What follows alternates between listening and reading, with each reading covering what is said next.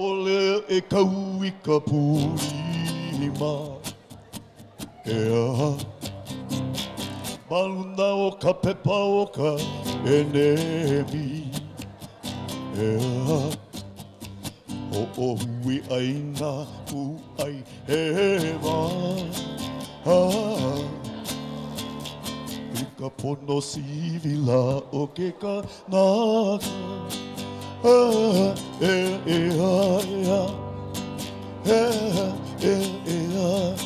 I'm going to uh, talk real quick about the objectives of this meeting because we're in a position where we need to be really precise and almost surgical with our, our, our dialogue and our discussion.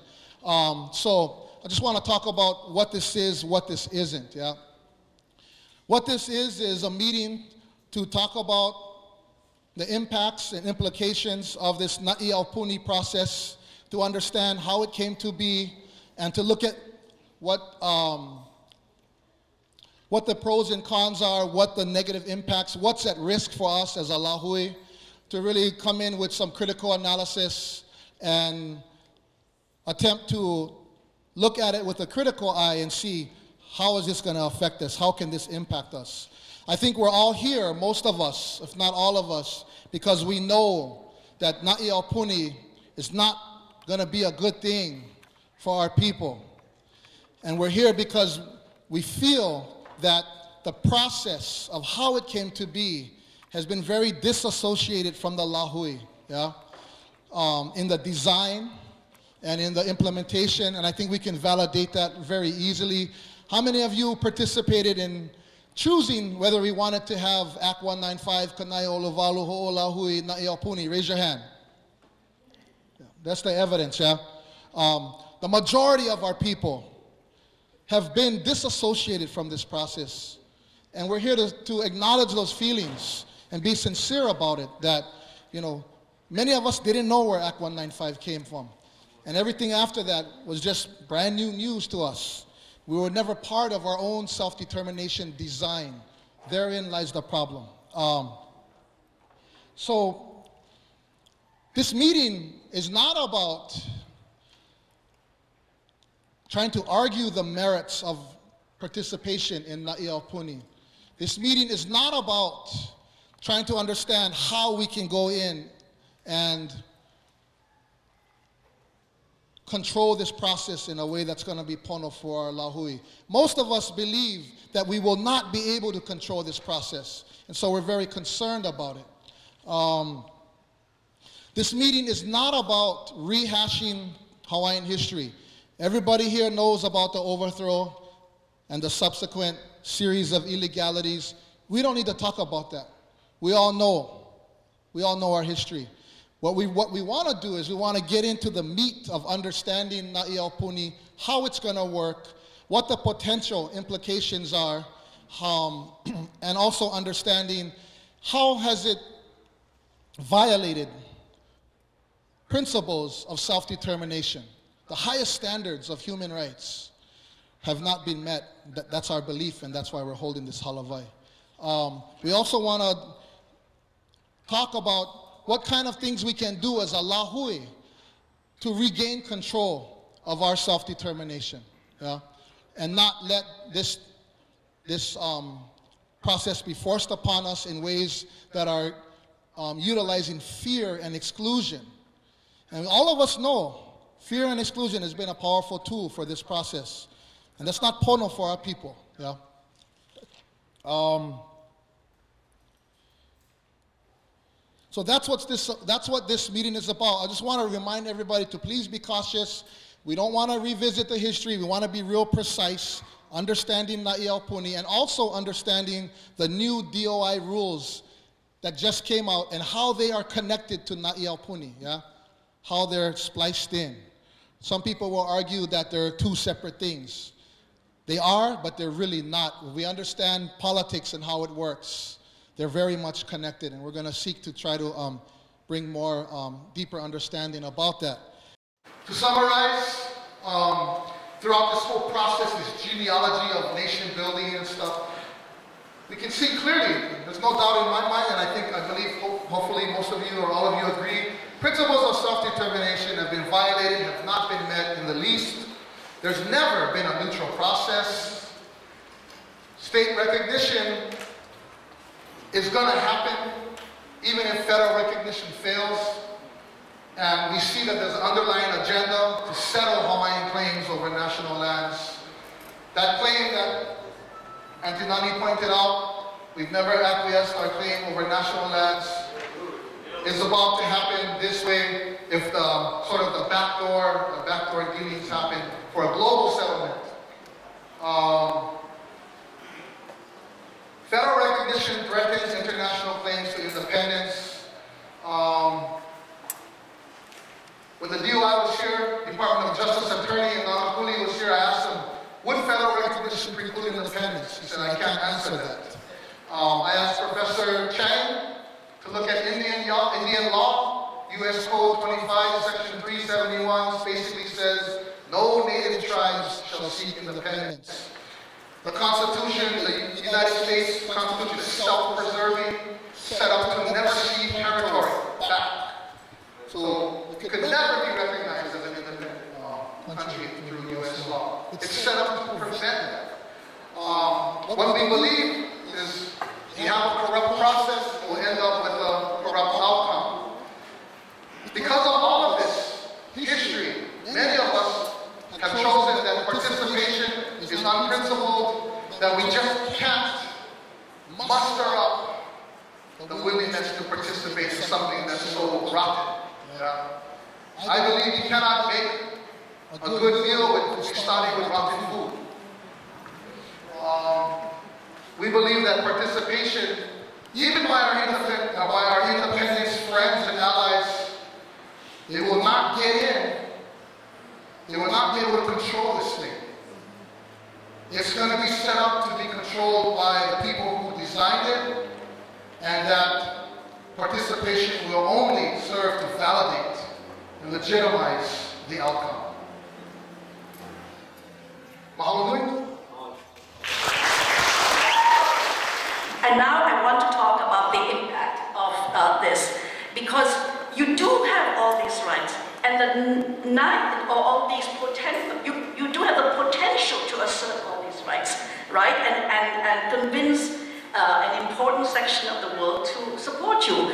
But if you uh, sign on, or are believed to have signed on by the world community to uh, a project uh, document that, in, that integrates you with the US, then you have chosen integration with another state as opposed to independence. And if they read it that way, they will not interfere in the internal affairs of a member state. So that's the, the problem. You know, your assent must never be given if you wish to retain your option of independence. Your assent to integration is your most, most powerful tool, legally speaking. Now, so that's if, okay, if you assent to be recognized, you assent to be integrated, and that is very, very dangerous to your international rights. But I would like to end with this. It is not only assenting to recognition by the federal government that is dangerous. It is the mere fact that you allow a non-representative, elitist, uh, oppressor, a sponsored government to even come into existence. That alone, whether the, it gets from the federal government, is already extremely dangerous because the US, whether it recognizes you or not, will act as if this is truly your government and decide all matters through the government and the state will do likewise, and they will encourage corporations to negotiate directly with that government to destroy your resources. And then as this practice piles up, the international community itself will say, well, you have not formally consented, but you have in practice consented because your government, you know, represents you. So that's very dangerous.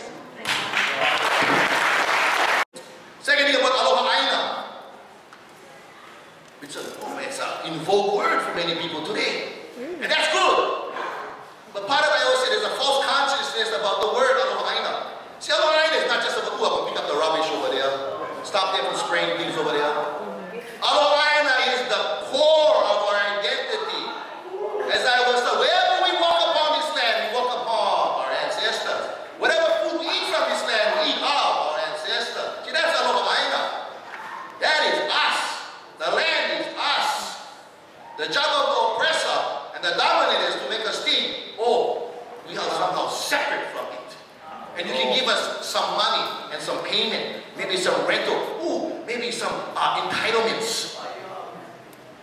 That's the confusion.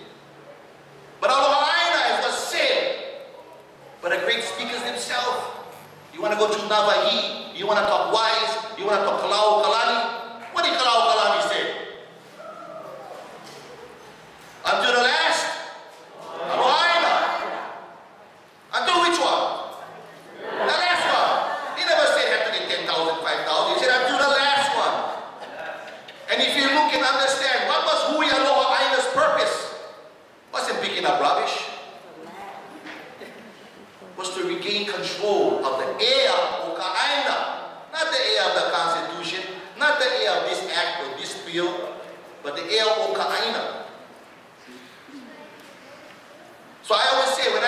frame this, it's very easy for me.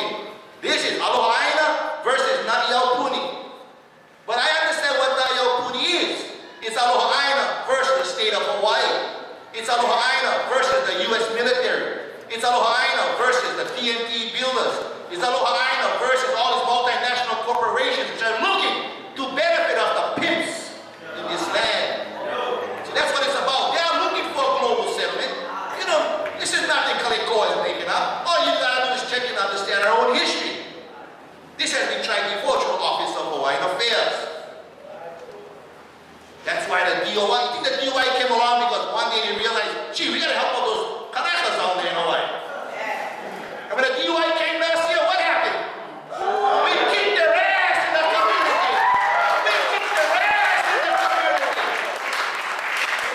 And then, ah, yeah, some Hawaiians are gonna make postcards and go sign and go send on me and say, oh, but we counted more. See, I believe that people speak as Lili'uokalani said. Right? What she said? The voice of the people is the voice of God. The voice of the people. She never said cardboard, so you sign your name and stick with me. What she said? The voice of the people, not check off the box. So you understand? So I wonder who's the representing the other side. Who's trying to keep our voices quiet? I don't see the DOI coming to Hawaii again to hear from the people. But we get 90 days to submit testimony. I wonder why. See, we know why. They're afraid. They fear an educated, organized, and unified people. That's what they fear. What is the purpose of Na'i Aupuni? The purpose of Na'i Aupuni was created to contain our people, to politically assimilate our people. Because Kana'iolowalu was a failure. They fear our people. And in the bottom, let me just end by this. In 1898, as the great Chomsky said, they manufactured consent. Right? That was a fake, fakery. 1959, they manufactured consent. And in 2015, this is what it's about, is to manufacture consent. What I, I'm going end by saying here. We are in a moment in history. We are blessed. I tell you, we are blessed that our people in 1897 stood up. And our people endured and survived, and we continue to speak our language, educate ourselves. Wa mau no. Mau ke o ka aina. Ale no i pau. Ai no ke o la nei. And we are in this history. Just like when we study, wow, 1843, 1848, 1887, 1893, 1898. 2015 is the question. And so all of us here, we here to work together. We here, I hope you're all here for the same reason, for the betterment of our people. Iho kai, kai kamanao, iho kai, kai kubai, iho kai, kai ke aloha. Mahalo, mahalo. We're looking at trying to take these Halawai Aloha Aina into the communities um, to inform and educate our community. We're also going to break out a little bit later into a kind of workshop. And so we want to take this Halawai Aloha into the communities in the way that OHA should have done or others should have done. That is self-determination. When the people collectively decide what we want and what we don't want. We never had the chance to do that. And I'll tell you right now, I look on Facebook, you know who's celebrating this, this Na'i Aupuni, this DOI rules? Robin Danner celebrating, they're happy. When they're happy, my Naha will tell me something wrong. Um, also want to take the time to really mahalo our, our auntie um, Ka'iolani Lambert and her ohana for bringing the food. Um, our um, our whole Hale Mawai for um, being part of our planning committee and helping with the video and um, setting up. Mahalo Hale. And for those of the Na'i Aupuni, I don't care what they say, you can paint them 20 different ways. It's still a creation of the state. I don't care if you're in separate organization. Let's get real. Andre already showed Act 195. The role was created by the state of Hawaii in 2011. And then in 2013, because the numbers were so low, what we gonna do? We're gonna do this last minute amendment and we're gonna add everybody else who had been on any other registry, as Andre said, to increase the numbers, to inflate the numbers, to now they have over $100,000, I mean 100,000 people registered on, on So what I wanted to touch on with the Nahia process, what I already said, it's state law, guys. I don't care if they can keep saying, well, Nahia is a separate organization. It was still created, the role itself was created by the state of Hawaii. The other point was, is that this idea or this notion by people of independence that, well, now suddenly, if I participate in Puni, I can advocate for independence. All I gotta say is people just honestly get real because let's get back to Kana'iolowalu, okay? When that was created, there was a commission and they were appointing who was gonna be on the commission. There's an at-large seat on that commission. And the commissioners wanted to put a non-resident. He doesn't, he's not a resident of the state of Hawaii. It was actually Suli. He was the former head of the Association of Hawaiian Civic Clubs.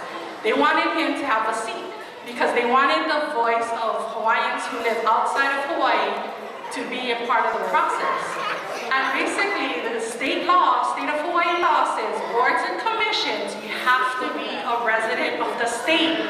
So tell me how you're going to allow other opportunities, other processes, independence and whatnot, if you can't even get one commissioner who's a non-resident. Okay, so for me, um, the real threat, the thing that they're claiming they're doing this for is the legal challenges, right? Constantly getting challenged. 15th Amendment, that's the reason why we're doing this. We need a recognized entity. Well, let's be real, people. Our rice fee they keep trying to say, well, not yet we're not going to be subject to the rice fee challenge. There's already a complaint filed in federal court calling for the 15th Amendment challenge and the 14th Amendment challenge. And, you know, I don't want to get into much legalese, but when you really look at it, the fact that it was a state law and that role is limited to only those who are of Hawaiian ancestry, I don't see how it could withstand a legal challenge. Even if it's not Iapuni, an entity they're trying to claim is separate from the state of Hawaii. So all I want to leave you folks with, in my humble opinion, just coming from my, my na'au and my pu'ai, is First of all, but who eh? Who eh?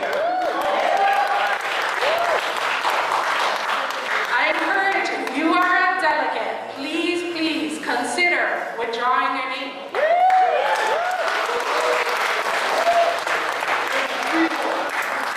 Another thing I, I really ask you, don't sign on the roll. And look, look on the roll. You can go to Kana'iolowalu's website, check the website, check for your ohana, check for your friends. I was just with one friend today. I told her, hey Mary, your is the list. She went, what? I told her to take them off in 2013. I said, well, I think it's still on there. So bam, she's emailing them, telling them, remove my name from the list now. Go check, go check it out, okay? Some people, I have two nieces I gotta talk to because they were students, just totally innocent, I bet. Just somebody coming to them, oh, you gotta, you gotta sign, become white. I'm sure that's what happened. But go check for your ohana. Go check for your friends and let them know. And the last thing, like what Ka Lahui did in 96, tell people, don't vote burn your ballot. If they're gonna be list, burn your ballot, don't vote. And if we have over 100 something thousand people registered and we have a low number, does that really represent the will of our community? And Camille is going to touch on the, what the DOI rules is requiring in terms of, of numbers.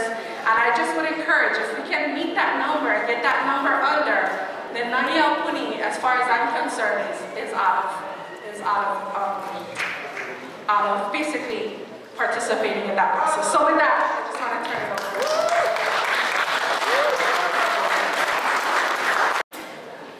At early November, Na'i Aupuni voting begins. Um, there is a big civic clubs meeting on Maui, November 8th to the 15th. And I don't know if any of you are, are in the civic clubs, but you really need to go back to your civic club and let them know that this process is heavy. And we, again, we need to be vocal and visual in terms of protesting. November 30th, the Na'i Aupuni voting ends. And November 31st, the election results are announced publicly. So it's coming fast. We don't have much time. And every, this, this process is just being railroaded. And basically we're being forced to, to accept it. What we want to do now is we want to hear what folks, what their ideas are for actions, what their ideas are for how this process, how self-determination should look like, what say you wish you would have had in this, and students helping to note take. And we're going to do now what OHA should have done from the very beginning. And we're going to start soliciting community input and building that Ike and that Mana'o together and start moving forward as a united people. Are we committed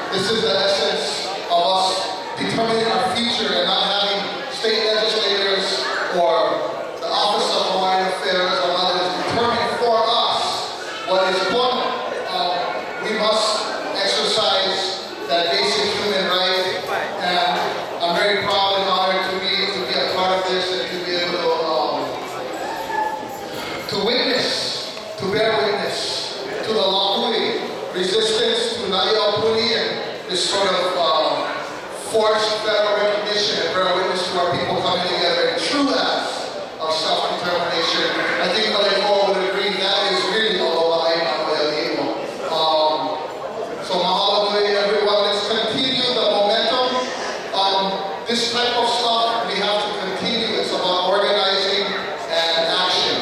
So please take, take the, the e of now that you want collectively share and take it home, educate. It starts with, I will say, each one teach one. Yeah? So we teach it, we will share with our Ohana and, and carry this, um, this movement forward. This is a true people's movement.